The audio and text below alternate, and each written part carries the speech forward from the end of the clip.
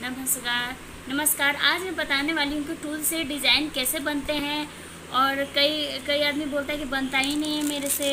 तो आज मैं बताती हूँ कि टूल्स डिज़ाइन कैसे बनते हैं केक पर।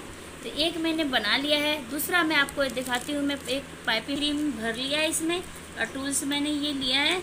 ये है गुलाब वाला है टूल्स तो देखिए ये, आप कोई भी इसमें सेप दे सकते हैं।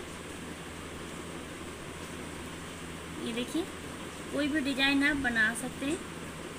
मैं आपको दिखा रही हूँ।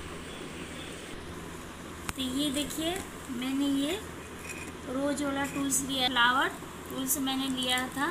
तो इतने सारे इसमें मैंने डिज़ाइन बनाकर ले लिया है। ये देखिए, कितना सुंदर और कितना बढ़िया बनकर तैयार हुआ है हमारा।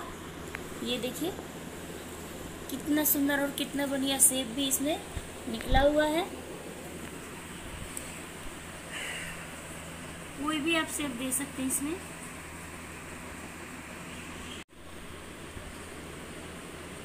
ये देखिए जिग जैग वाला नोजल है।